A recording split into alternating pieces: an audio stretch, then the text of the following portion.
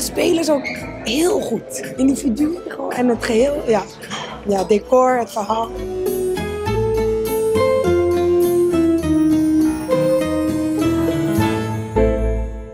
leuk dat het heel gay was. ik vond het echt, uh, it was gayer than Christmas. Dom!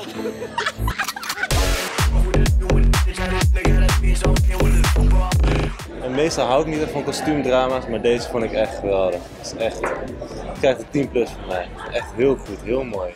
Drama, zoveel drama. Kostuums, decor, de overdaad aan wat er allemaal te zien viel. Heel erg verrassend.